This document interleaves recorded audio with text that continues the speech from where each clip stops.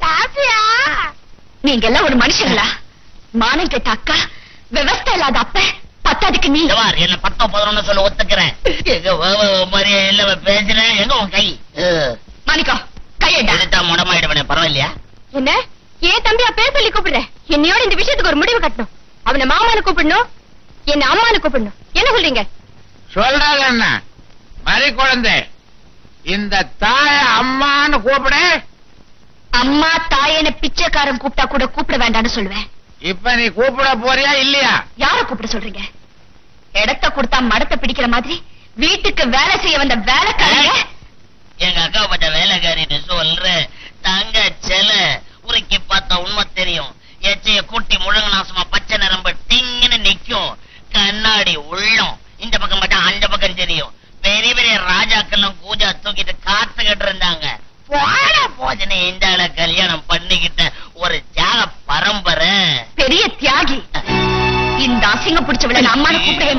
மாட்டேன் அவ கொழுப்பு அடங்கணும்னா உடனே என் தம்பி கட்டி வைக்கணும். இப்ப முடிவு பண்ணுங்க ஒண்ணு இந்த வீட்டுல நான் இருக்கணும் இல்ல அவன் இருக்கணும்? ஆ, பாலா! வானாவது கோலாவது. கல்யாண தேதி சொல்லுங்க. சொல்ல போறீங்களா இல்லையா? வந்து. வந்தாவது போயாவது. வர போலாம். ஆ, பாலா நில்லு. நீ இல்லாம நான் இல்ல. வயசான உனக்கே எப்படி? நான் சின்ன பையன். எனக்கு எப்படி? புரியுதுடா. முடிவு பண்ணிட்டேன். வர்ற பத்து. என்ன பத்து? நெத்தியில போடுற பத்தா? பத்தாம் தேதி உங்க ரெண்டு பேருக்கும் கல்யாணம். உனக்கும் மறிக்குழந்துக்கும் கல்யாணம். ஓடும் மேகங்களே ஒரு சொல் கேளீரோ.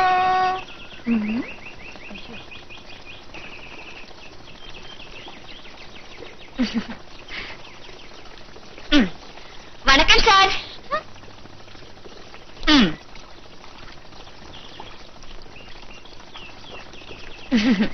என்ன இதெல்லாம்? லஞ்சமா? இல்ல இல்ல.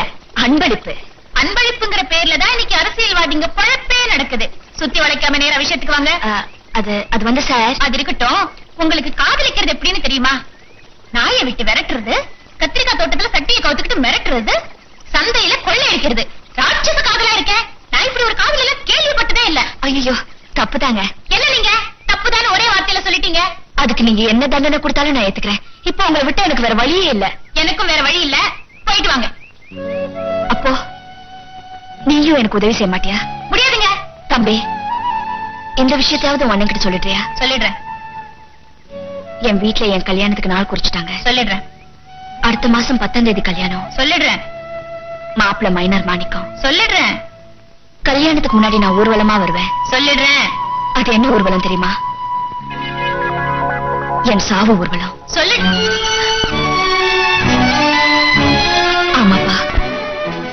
இந்த மாதிரி குழந்தை வாழ்றதே உன் அண்ணனுக்காக தான் அவர் எனக்கு கிடைக்கலனா என் முடிவு இதாதான் இருக்கும்.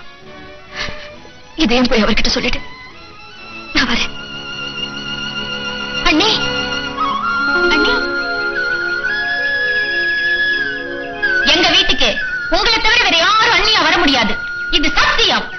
அண்ணே இந்த தங்கம் வாத்தியார் மாதிரி சாதாரணமா சத்தியம் பண்ண மாட்டான். பண்ணிட்டா நினைத்ததை முடித்தே தீருவான்.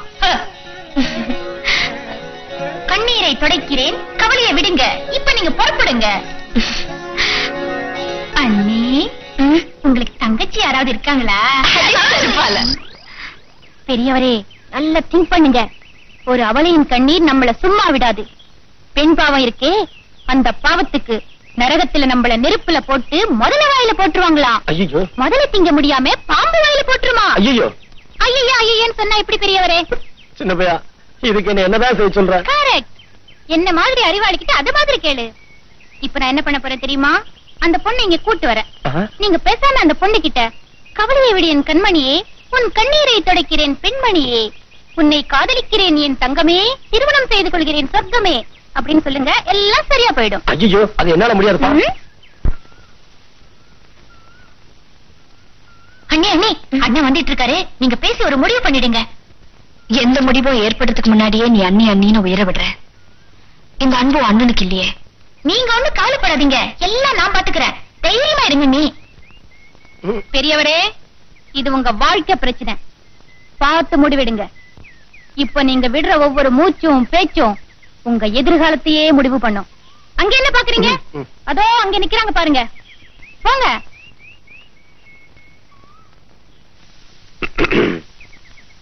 வாங்க. என்ன நீங்க வர சொன்னீங்களாமே? ஆமாங்க. என் விஷயத்துல ஒரு முடிவு பண்ணிட்டேன். அதை சொல்லிடலாம்னு தான் நான் உங்களை வர சொன்னேங்க. என்ன வாங்க போங்கன்னு பேர் சொல்லியே கூப்பிடலாமே. அதை நான் விரும்பலங்க. ஏன் விரும்பல? என் பேர் பிடிக்கலையா? இல்ல நான் அழகா இல்லையா? உங்களை போய் அழகு இல்லைன்னு சொன்னா சொன்ன வாய் அழுகி போயிருங்க. அப்போ என்ன எதுக்காக நீங்க வெறுக்கிறீங்க? அப்படி பெரிய வார்த்தையெல்லாம் சொல்லாதீங்க. நான் உங்களை வெறுக்கல. அப்ப நம்மள பிரிக்கிறது எது? நமக்கு தடையா இருக்கிறது எது? பணங்க. நீங்க பணக்காரங்க. ஆனா நான்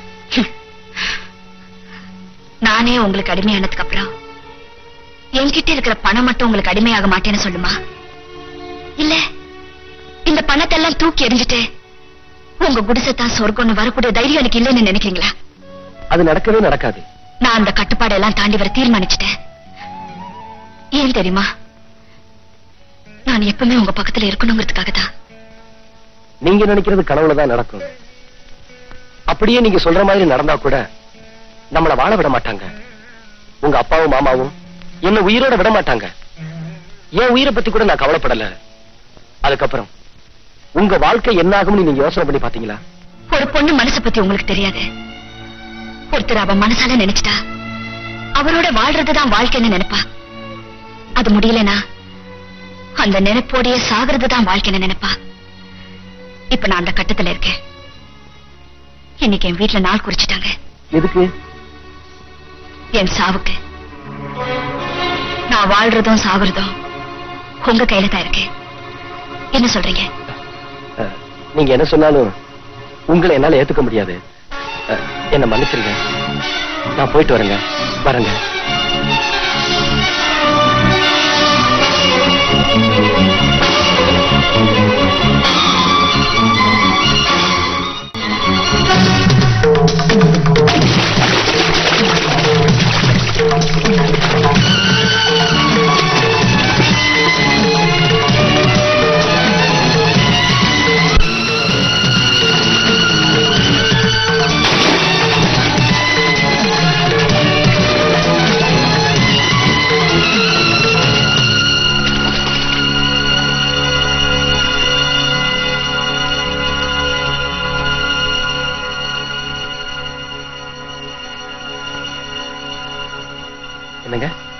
என்னங்க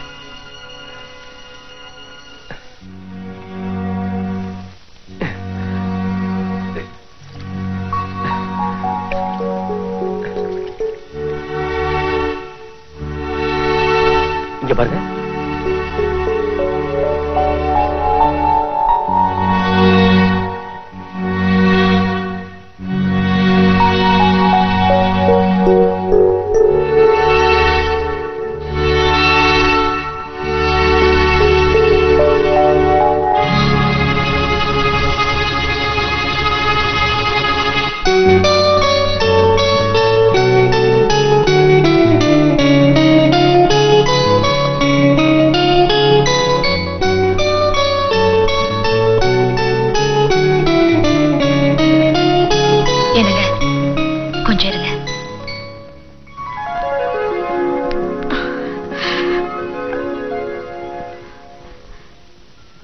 எங்க போறீங்க? எனக்கு நீங்க இல்லைன்னு தெரிஞ்சதுக்கு அப்புறம் நான் வாழ விரும்பல. எதுக்காக என்ன காப்பாத்துறீங்க? நீங்க சாகக்கூடாது. ஏன்? நீங்க ரொம்ப நல்லவங்க. எனக்காக உயிரே விட துணிஞ்சிட்டீங்க. நீங்க சாகவே கூடாது. ஏண்டி உனக்கு என்ன தைரியம் இருந்தா உன்னை கட்டிக்க போற என் தம்பி எதிரிலேயே அவன் கூட நீ ஆடுவேன் பாடுவேன். என் இஷ்டம். நான் அவரோட ஆடுவேன் பாடுவேன். அது மட்டும் இல்ல அவரோட குடும்பமே நடத்த போறேன். என்ன நான் வாய் பழக்கிற நான் அவரை தான் கல்யாணம் கட்டிக்க போறேன். அதுதான் நடக்காது. ஏன் நடக்காது? பெத்தவன் நானு இந்த வீட்டுல ஏன் இஷ்டப்படிதான் நடக்கணும்? இந்த வீட்டுல மாத்திரம் இல்ல இந்த ஊர்லயே அப்படித்தான். நாங்க எதுக்கும் துணிஞ்சிட்டோம். நானும் துணிஞ்சிட்டேன். அந்த விஜயகுமார் பைய குடும்பத்தையே அழிச்சு நாசமாக்கிடுவேன். நீங்க செஞ்சதெல்லாம் போதாதா? அந்த சின்ன வயசுல என் மனசுல ஏற்பட்ட வடு இன்னும் ஆறல. அந்த கொடுமைகள் எல்லாம் நீங்க மறந்துட்டீங்க. நான் மறக்கல. அம்மாவை துடிக்க துடிக்க உயிரோட சித்திரவதை செஞ்சுக்கல. அம்மா கண்ணெதிரே அந்த வேலைக்காரியோட விபச்சார குடும்பம் நடத்தினீங்களே. அது நீங்க மறந்துட்டீங்க. நான் மறக்கல. இந்த நாய் மேல வச்ச மோகத்துல போதையில கட்டின மனைவிய என் கண் முன்னாடி கழுத்துல அடிச்சு கொண்டீங்களே அது நீங்க மறந்துட்டீங்க. நான் மறக்கல. அப்பா மறந்ததெல்லாம் மறந்து போனதாகவே இருக்கட்டும். நானும் மறந்துடுறேன். இது வரைக்கும் நான் உங்ககிட்ட எதுவுமே கேட்டதில்ல. இந்த ஒரு நல்ல காரியத்தையாவது செஞ்சு வச்சிருங்கன்னு கேக்குறேன்ப்பா. வீட்டை விட்டு போயிடுன்னு ஒரு வார்த்தை சொன்னா போதும். போயிட்டு வரேன்னு சொல்லாம கூட போயிடுறேன். உங்க சொத்துல எனக்கு எதுவுமே வேண்டாம். அவரை மட்டும் கொடுத்துருங்க அவரோட வாழ்ற வாழ்க்கையை மட்டும் கொடுத்துருங்க அப்படியா? அப்படின்னா சரி. என்னங்க? சொத்து சுகம் ஒண்ணு வேண்டாமா? அந்த கழுதைய கட்டுல துணியோட வீட்டை விட்டு துரத்துங்க. அப்படியா? கழுத போய் தொலை.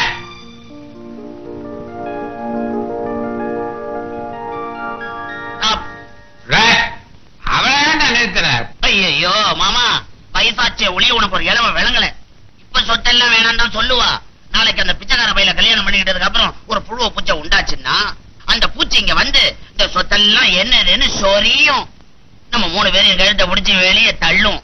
நீ என்ன பண்ணுவ? எங்களோட சேர்ந்து தெருவில் நிப்ப. அவ்வளவுதான். ஆமாங்க. தம்பி சொன்னா அது சரியா தான் இருக்கும். ஆமா. அதுக்கு என்ன என்ன பண்ண சொல்ற? அப்படி கேளு. அணுகுண்டு மாதிரி ஐடியா விடுறேன். இந்த சொத்தெல்லாம் நம்மளை விட்டு போக கூடாதுன்னா சுந்தரி என்னை விட்டு போக கூடாது. ஆ, அதுவும் சரிதான். நாளைக்கே கல்யாணம். அப்படி சொல்லு மாமா. பாத்தியா? நாளையில இருந்து நீ ஐயாவுக்கு சொந்தம்.